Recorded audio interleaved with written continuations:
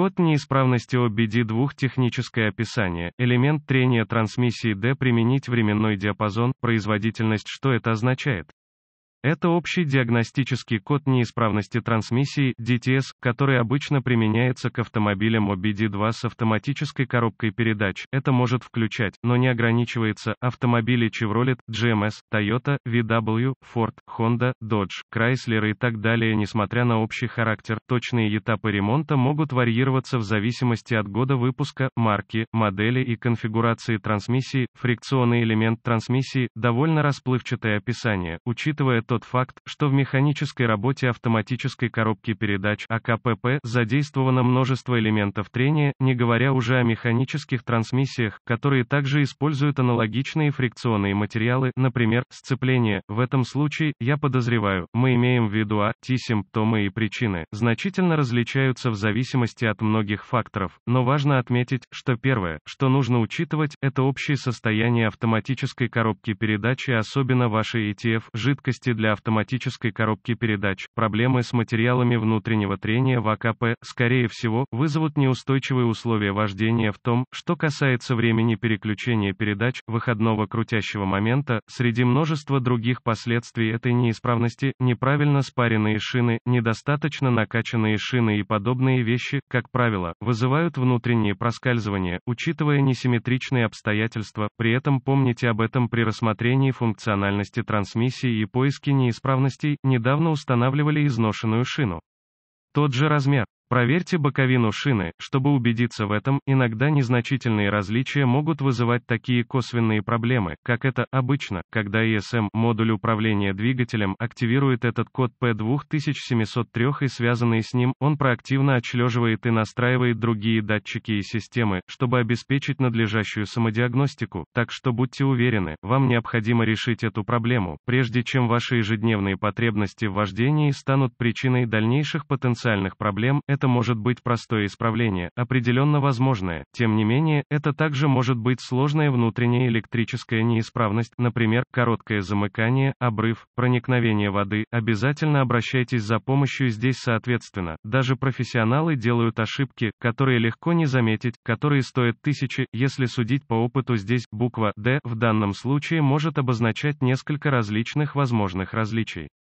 Возможно, вы имеете дело с конкретной цепью, проводом или можете иметь дело с конкретным элементом трения в трансмиссии. Сказав все это, всегда обращайтесь к руководству по обслуживанию, чтобы узнать о конкретных местах, различиях и других подобных характеристиках. Код P2703 регистрируется контроллером ESUD, когда он обнаруживает, что внутренний фрикционный элемент и квот, да и квот, внутри трансмиссии испытывает общую проблему с его работой, какова серьезность этого кода неисправности.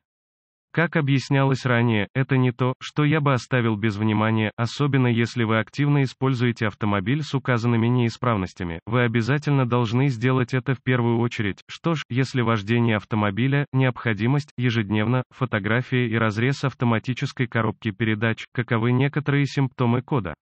Симптомы кода неисправности P2703 могут включать неравномерное обращение проскальзывание трансмиссии неустойчивое переключение неправильное переключение передач жесткий выбор переключения утечка ATF жидкость для автоматической коробки передач низкий крутящий момент ненормальная выходная мощность каковы некоторые из распространенных причин кода. Причины этого кода проскальзывания фрикционного элемента P2703 могут включать низкий ATF, изношенный фрикционный элемент, внутренний, загрязнение ATF, тормоз заедает и так далее. Проблема с TSM, модуль управления трансмиссией, проблема с ESM, модуль управления двигателем, повреждение модуля и, или жгута из-за воды, каковы некоторые шаги по устранению неисправностей P2703.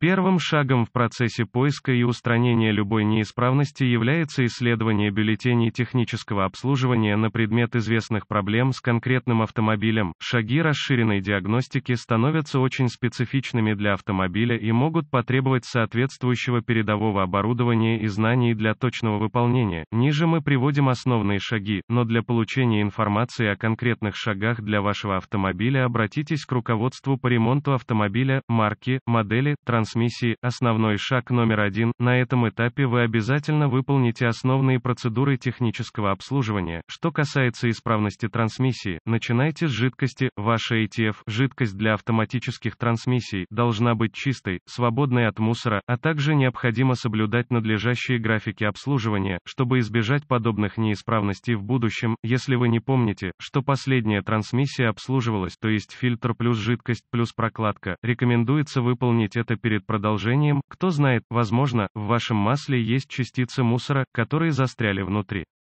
Для этого может потребоваться только простая услуга, поэтому убедитесь, что вы знаете о последней выполненной вами услуге А, это примечание, убедитесь, что вы используете масло ATF, подходящие для вашей конкретной марки и модели, основной шаг номер два скорее всего, при поиске разъема, жгута для этой системы вам придется найти соединительный разъем, может быть один, главный, разъем, поэтому убедитесь, что вы работаете с правильным, обратившись к руководству, убедитесь, что сам разъем вставлен правильно, чтобы обеспечить хорошее электрическое соединение, если разъем расположен на АКП, он может подвергаться вибрациям, которые могут привести к расшатыванию соединений или их физическому повреждению, не говоря уже о том, что ATF может загрязнить разъемы и провода, вызывая проблемы в будущем или настоящем. Основной шаг номер три всегда полезно знать общее состояние вашего автомобиля, учитывая тот факт, что, как и в этом случае, другие системы могут напрямую влиять на другие системы, неровные шины, износ изношенные детали подвески, неправильные колеса, все это может и вызовет проблемы в этой системе и, возможно, также другие, так что даже проблемы исчезнут, и вы можете избавиться от этого кода, эта статья предназначена исключительно для информационных целей, и технические данные и сервисные бюллетени для вашего конкретного автомобиля всегда должны иметь приоритет.